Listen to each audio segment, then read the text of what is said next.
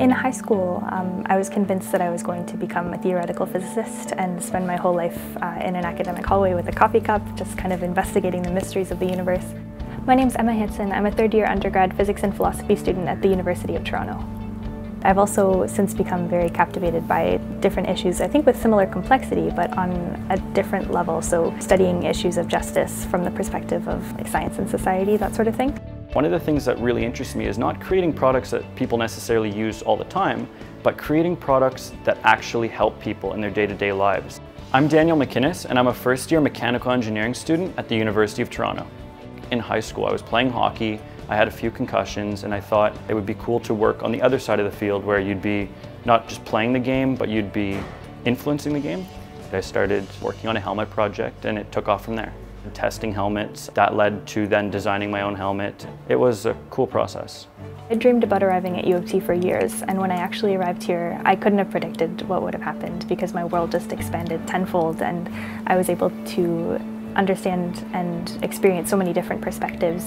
I was really interested in the University of Toronto because it's a large university that has uh, interest in research, um, in science and engineering, but also in the side that's going to support students um, with their ideas, whether it's leadership or entrepreneurship, and that's something that means a lot to me.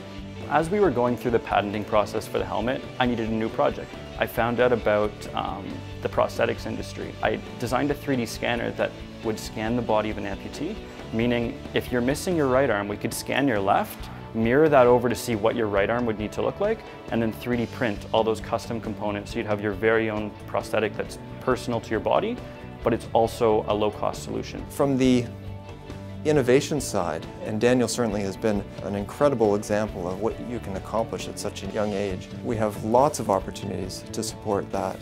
We have the Entrepreneurship Hatchery that brings students together that allow these students to kind of collaborate on ideas, put ideas forward, but also have this experience of mentorship from seasoned entrepreneurs. I've become very interested in security issues and how scientific knowledge is applied because I've become very conscious of the power that scientific knowledge gives the people who hold it. We offer such a great uh, intellectual tradition in both science and also in social science and the humanities. And that's what's really needed to try to tackle students who have a genuine passion for interdisciplinary work. Uh, Emma Hansen is one of those students. They're quite rare, and when we encounter them, we need to make sure that they have the opportunities here in Canada. When I found out about the Schulich Leader Scholarship, I was really interested because I found out about the Schulich network that's behind the scholarship. All the electrical engineers, the mechanical engineers, the chemists, the biologists, all the people within these spaces that have done really cool things and want to help out the younger generation. They want to come back and, and give back really, and I think that's the coolest part of this. I think Seymour Schulich recognized this need, that we need people that have both the strong technical foundation, the aptitude for science and mathematics, the aptitude to apply those in an engineering setting to create this amazing technologies that we'll need in the years to come, but couple that with the ability to be a leader in that work.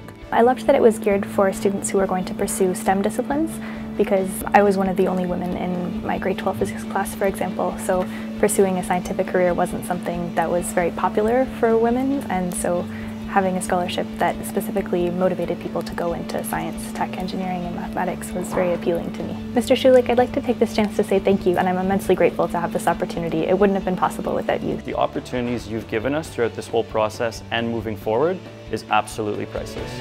As for new ideas, who knows? One could be coming soon.